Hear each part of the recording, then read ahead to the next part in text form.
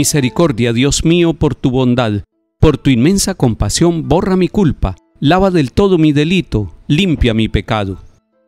Iniciemos esta jornada en el nombre del Padre y del Hijo y del Espíritu Santo. Amén.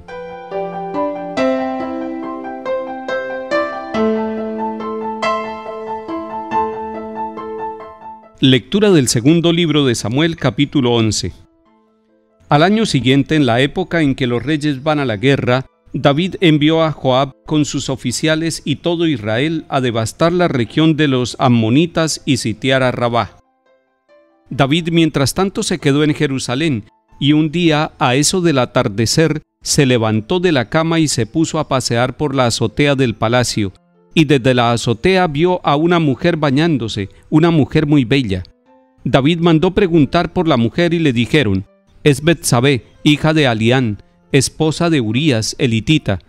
David mandó a unos para que se la trajesen. Después Betsabé volvió a su casa, quedó encinta y mandó este aviso a David, estoy encinta. Entonces David mandó esta orden a Joab, mándame a Urías elitita. Joab se lo mandó. Cuando llegó Urías, David le preguntó por Joab el ejército y la guerra. Luego le dijo, Anda a casa a lavarte los pies. Urías salió del palacio y detrás de él le llevaron un regalo del rey. Pero Urías durmió a la puerta del palacio con los guardias de su señor, no fue a su casa. Avisaron a David que Urías no había ido a su casa. Al día siguiente, David lo convidó a un banquete y lo emborrachó. Al atardecer, Urías salió para acostarse con los guardias de su señor y no fue a su casa. A la mañana siguiente, David escribió una carta a Joab y se la mandó por medio de Urías. El texto de la carta era, Pon a Urías en primera línea, donde sea más recia la lucha, y retiraos dejándolo solo, para que lo hieran y muera.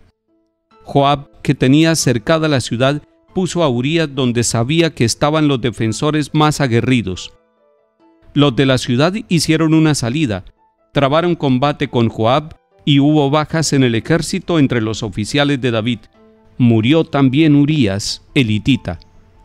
Palabra de Dios. Te alabamos, Señor.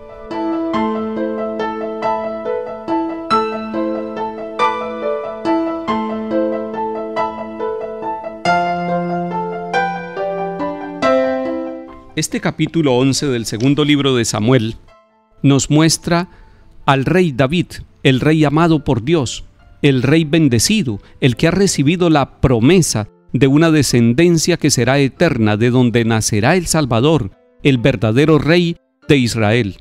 Y sin embargo, siendo el hombre elegido por Dios, siendo el ungido de Dios, tiene una fragilidad muy grande.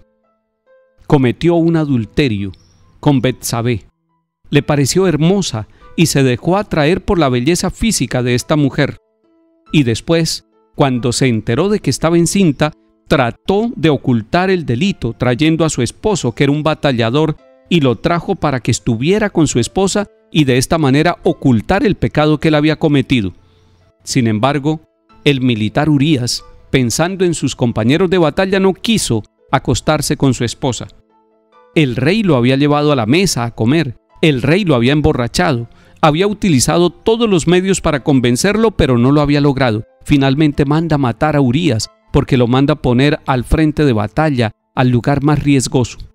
Este texto nos muestra la parte más frágil de la persona humana del rey David. David no es un dios, es humano, demasiado humano. Y siendo demasiado humano, ha sido un hombre que ha caído en el pecado, que ha vivido la experiencia del pecado, que sabe lo que es el adulterio, que sabe lo que es el homicidio y que tiene conciencia de su pecado, porque se sabe amado de Dios. Si no sintiera el amor de Dios, no sentiría también la culpa, el peso de su pecado. Mirando al rey David, también nosotros nos reconocemos frágiles y pecadores, pero necesitamos la mano misericordiosa de Dios, necesitamos que Él nos tome como a la oveja perdida, nos lleve sobre sus hombros y reconstruya nuestra vida con su perdón, con su misericordia, con su amor. Salmo 50. Misericordia, Dios mío, por tu bondad, por tu inmensa compasión borra mi culpa, lava del todo mi delito, limpia mi pecado. Pues yo reconozco mi culpa, tengo siempre presente mi pecado. Contra ti, contra ti solo pequé, cometí la maldad que aborreces. En la sentencia tendrás razón, en el juicio brillará tu rectitud. Mira que en la culpa nací, pecador me concibió mi madre. Hazme oír el gozo y la alegría, que se alegren los huesos quebrantados, aparta de mi pecado tu vista, borra en mí toda culpa.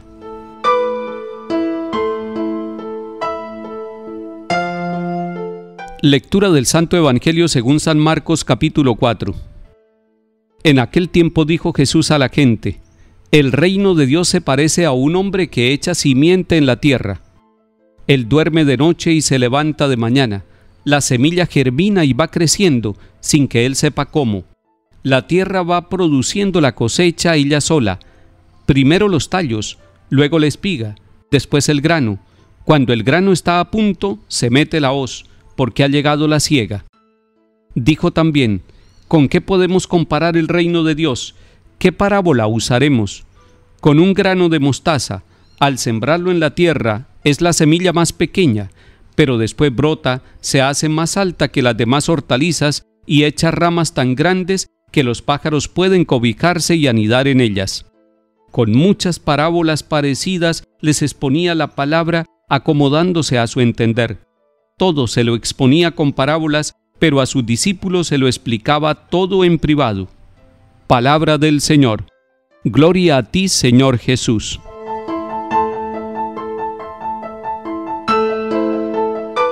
tomando el versículo 34 del capítulo 4 de San Marcos que acabamos de escuchar, queremos pedirle al Señor que Él nos trate como a sus discípulos, que nos explique todo en privado, porque nosotros necesitamos coger la palabra que Él ha pronunciado, escucharla, orarla, reflexionarla personalmente, contemplarla y tratar de vivirla. Dos parábolas nos muestra este Evangelio del día de hoy. Primero el Señor está hablando del reino de Dios y dice que se parece a una semilla, que el sembrador la siembra y no alcanza a notar los signos de crecimiento.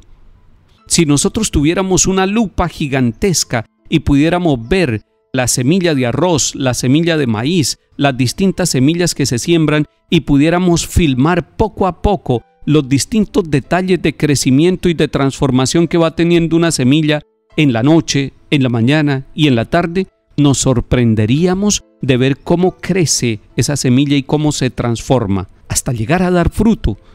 Así también es el reino de Dios.